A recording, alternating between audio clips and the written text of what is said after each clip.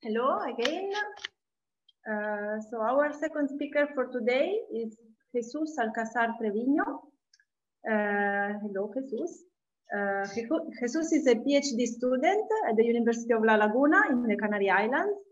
Uh, he's affiliated uh, with the research group on biodiversity, marine ecology and conservation, BioEcoMac. And he is going to present us the results of a study that uh, he has just published in the journal uh, Proceeding of the Royal Society. The, the title is uh, Deep Diving Beaked Whales Dive Together but Forage Apart. So Jesus, whenever you want, you have uh, 20 minutes. Thank you. Okay, thank you. I hope you can see my screen and hear me. well, first of all, I would like to, to thank the ECS for organizing this webinar and having me here. And of course, I would like to thank my supervisors and, uh, and the fantastic team of collaborators we had for this project. We'll start talking uh, about group living in social animals these can have benefits and costs. So for the benefits, for example, a lower predation risk and an increase in foraging efficiency. But within costs, there could be competition for resources between the animals of the same group, and also sensory interference for the signals that these animals use to find food and to coordinate group movements we are talking about sensory interference, in the case of acoustic signals, it will depend on the duration and directionality. So for signals with long duration and low directionality, as for example here, whistle dolphin, uh, these are more susceptible to, to acoustic interference. And on the other hand, acoustic signals with less duration and higher directionality like the powerful echolocation clicks of some cetaceans. You see here a, a click from a beaked whale. This would be less susceptible to this um, acoustic interference. But in the case that we are in a context of uh, a group, foraging in a group with more animals and high uh, click rates, clicks from other animals could uh, could interfere with the detection of the weak echoes returning for prey. So in the costs of group living in social animals, we would have this uh, acoustic uh, jamming and different uh, echolocators have uh, developed uh, strategies to fight this jamming. So for some bats and bottlenose dolphins, it has been seen that they change in frequency, amplitude, and or timing of their acoustic signals and also increase their silent periods while foraging in groups.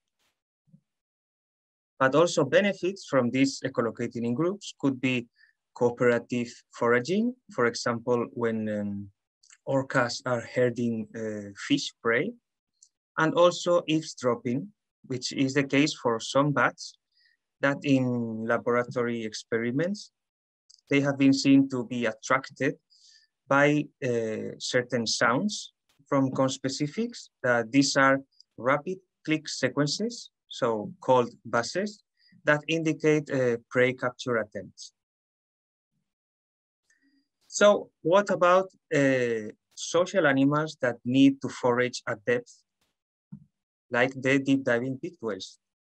We are talking about Blainville's and Cuvier's beaked whales, these animals, here you see a dive profile of a Blainville. They dive uh, at mesopelagic depths for some 60 minutes each foraging dive. You see the arrows indicates the vocal period. So they use echolocation clicks to locate food and the buzzes to try to capture this prey. But at the same time, for shallower waters, they remain silent. And also they have these uh, highly coordinated dives when living in groups and uh, with the ascent at certain angles. And this is supposed to be a predator abatement strategy. So uh, they have to balance uh, between the benefits and costs of this group living. So we are going to see how do they manage these trade-offs of group foraging. We'll uh, analyze DTAG deployments to study their acoustic activity and movements. And our null hypothesis uh, will be beaked whale foraging performance is unaffected by group size. We also made some predictions.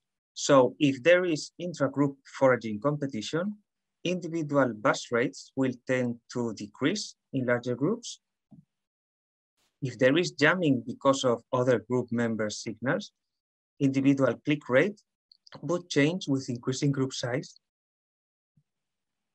Sorry. And if there are eavesdropping on conspecific signals, the individual click rates would reduce with increasing group size, while the buzz rates would increase. So for the methods, we used the biologging techniques, uh, in this case, the DTAGs devices. These are attached, as you see in the picture, on the dorsal, uh, the dorsum of the whales using suction cups. These are uh, on the animal for almost uh, up to three days. They detach. And then uh, thanks to the radio antenna, we can uh, recover it and extract, extract all the data. The data includes acoustic samples taken by one or two hydrophones.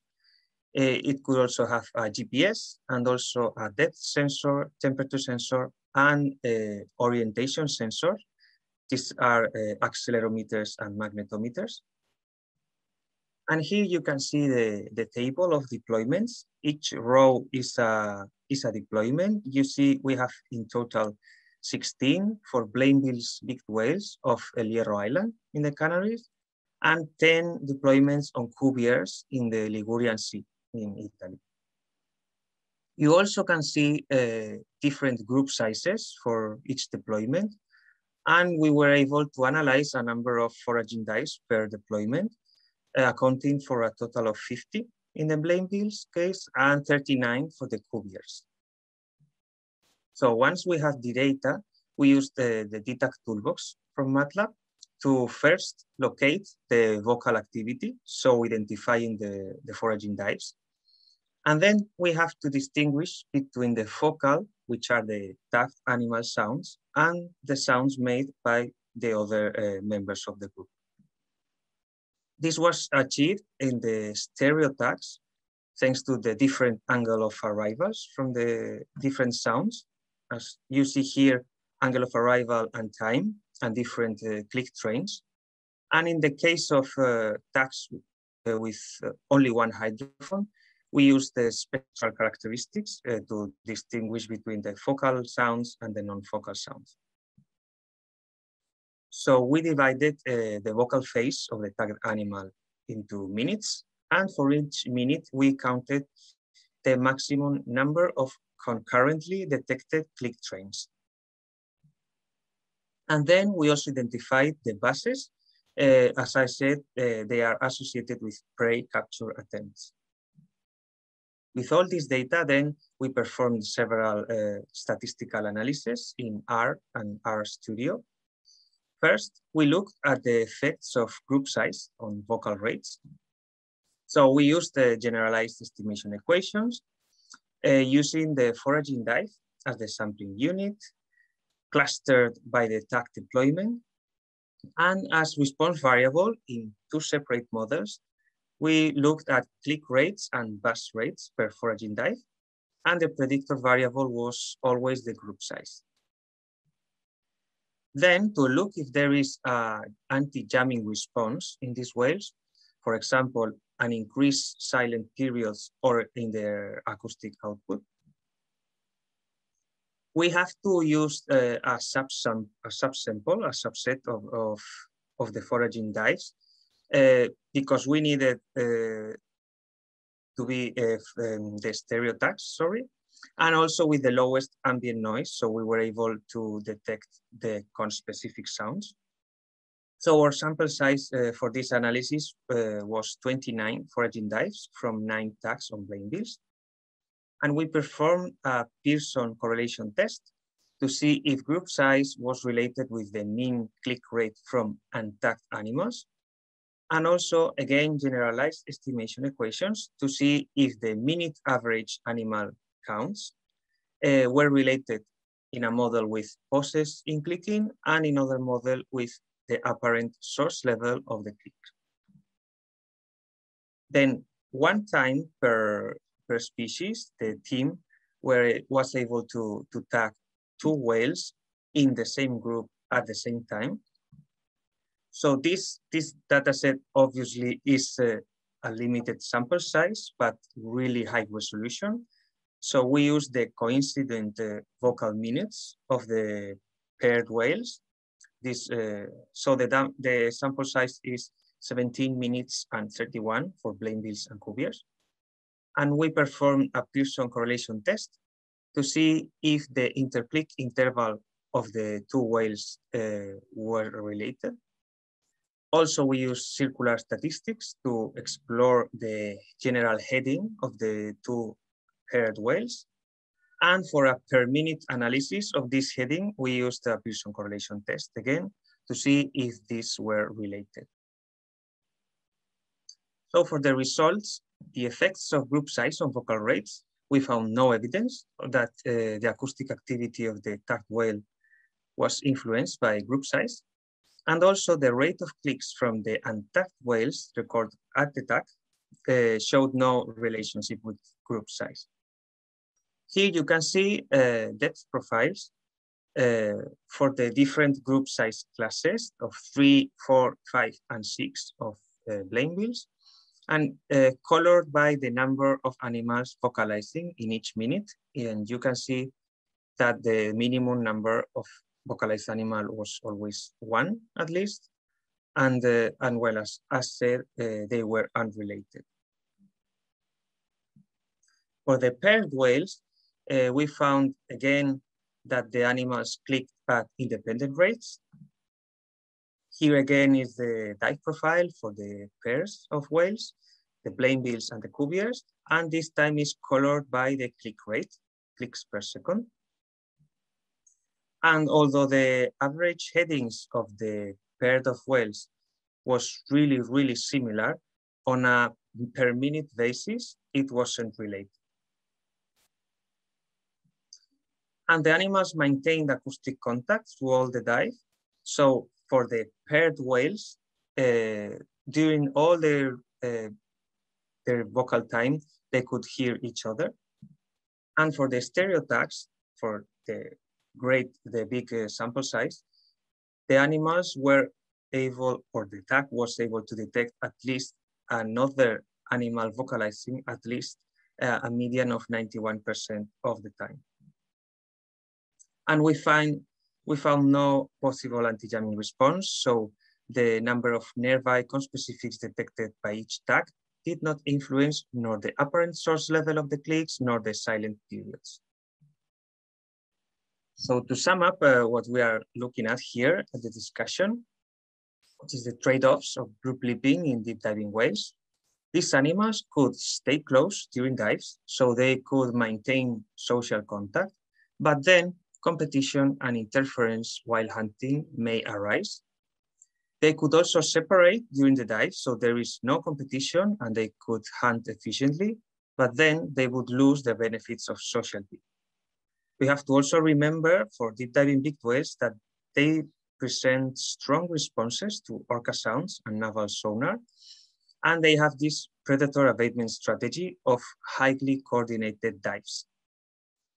So then echolocating beaked whales foraging in highly coordinated groups may incur in costs of aggregation or they may benefit from the proximity of group members.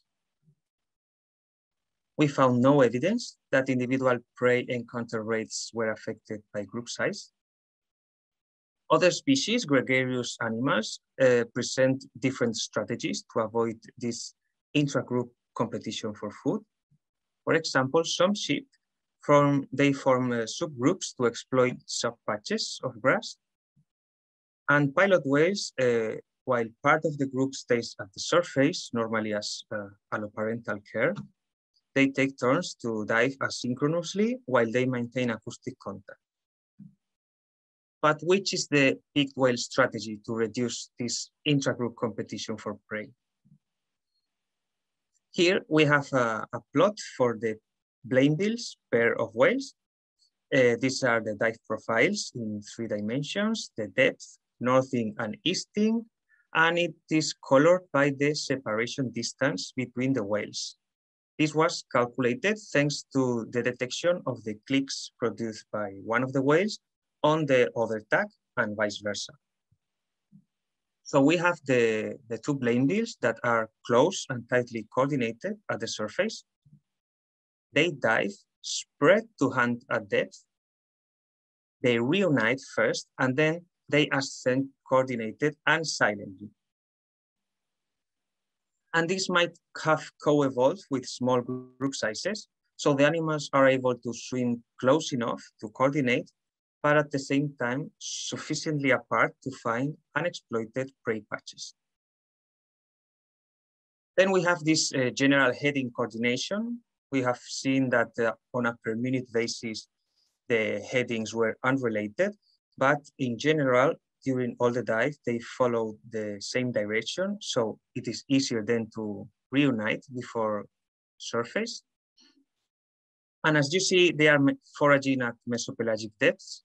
So it's almost a lightless environment. So this coordination must be aided by clicks, which then have secondary communicative function for these animals, and they are acting as acoustic beacons of the position of every member of the group while they are foraging. So acoustic interference may arise from this nearly continuous detection of conspecific clicks but we found no evidence of jamming response uh, for these animals. For other animals, for example, some bats that produce uh, echolocation calls to, to detect prey, when they are in groups, they increase their silent periods to, to compensate for this jamming. And other uh, toothed whales, for example, orcas and bottlenose dolphins, they have been seen that the larger the group, the less per capita clicks they produce. And this was hypothesized to be that they were uh, taking advantage of uh, echolocation uh, echoes from other conspecifics. So why there is this difference between the beaked whales and these other tooth whales?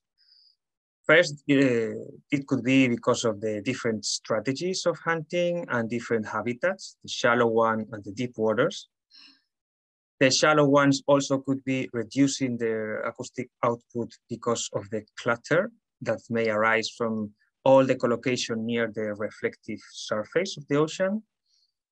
But at the same time, it is important that we bear in mind the different methodologies so we are using a recorder that is physically attached to the animal. So we are really confident on our detections of sounds made by that animal, but not on the other ones. As we have said, the echolocation clicks are highly directional. So as the animals uh, turn looking for prey, we could be missing clicks. For example, a drifting hydrophone could detect uh, some animals, but not if they are uh, separated. And it would be really different if we have this extensive array of hydrophones. So this is a remark to always uh, bear in mind the different methodologies could render different results. So in conclusion, for our Blainvilles and Cuvier's beaked whales foraging groups, individual vocal rates were unaffected by group size, so it is unlikely that there is sensory interference or competition within the group while they hunt. And also it is unlikely that they share information of eco-arrival from conspecific groups. They maintain acoustic contact during foraging time. This aids coordination and timing and mean direction of the dives, and it allows them to separate to forage independently so they are not cooperative hunting predators. And their collective behavioral tactics reduce intra-group competition. So the individuals maintain their foraging efficiency And at the same time, they are still gaining the social and predation, predation sorry, risk abatement benefits of group living. But they have to live in small groups. So they are these are related to the foraging footprint of the group and set an upper limit to the number of whales that can be foraging simultaneously and efficiently. So they need a reliable foraging niche for this. And thank you very much again for the ECS, my collaborators, and all of you for listening on a Friday afternoon. And I'd be happy to answer any question. Thank you, Jesus, for this very interesting uh, presentation. I see a couple of questions for you. The first one from Kevin Robinson is, uh, what importance do you think this would this work uh, has for the conservation of these animals?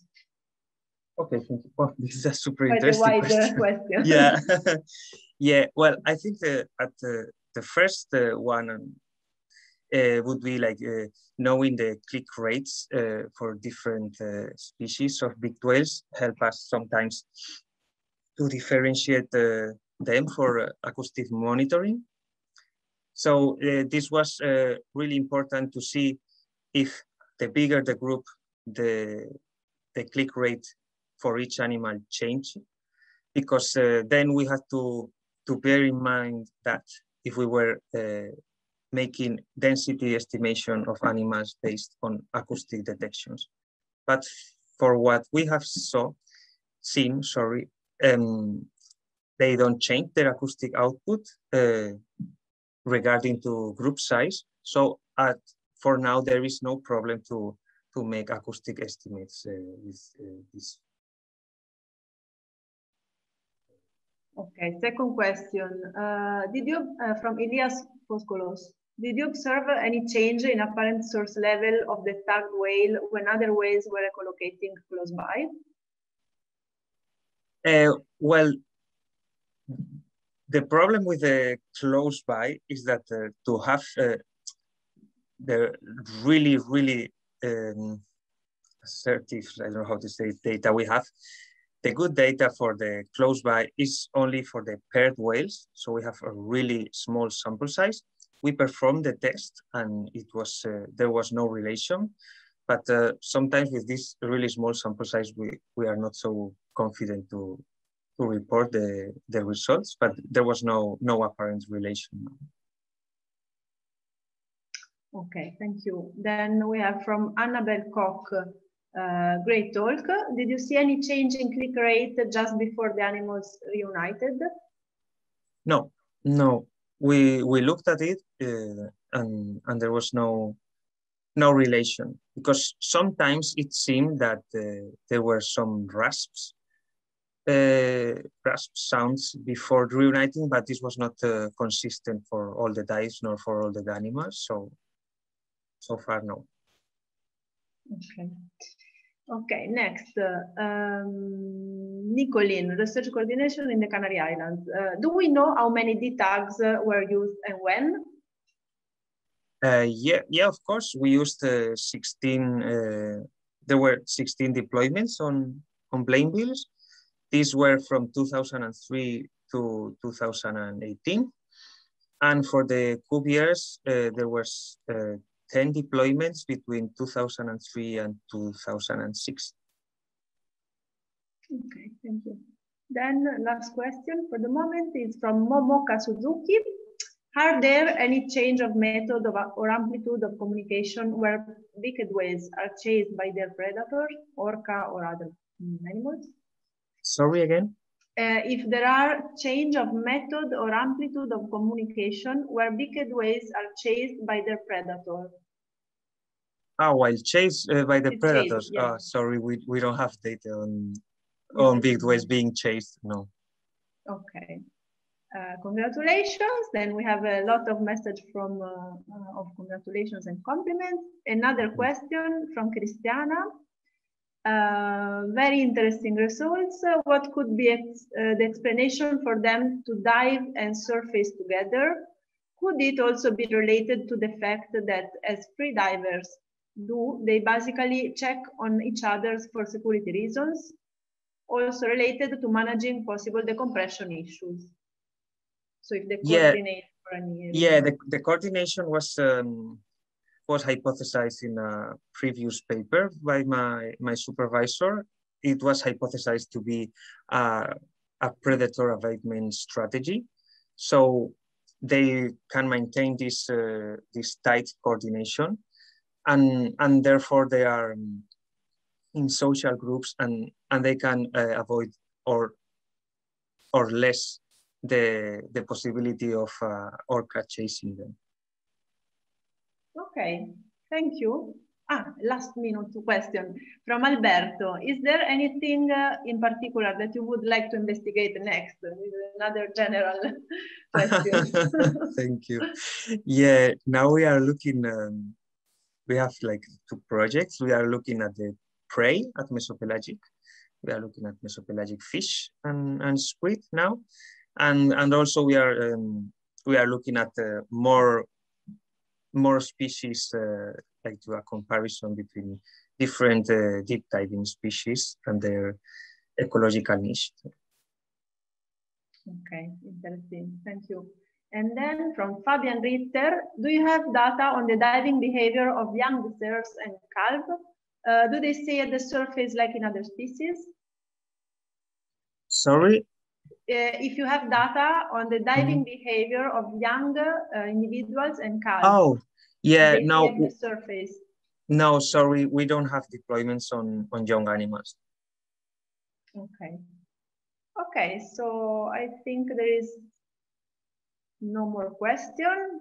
I wait for a few seconds to see if they appear. The, you received a lot of compliments on the chat. uh, so congratulations again and um, good luck with your future research. Thank now uh, I think we can stop for another 12 minutes and we will resume at uh, 4.20 with the last presentation of today. Thank you, Jesus. Thank you. Bye. Bye.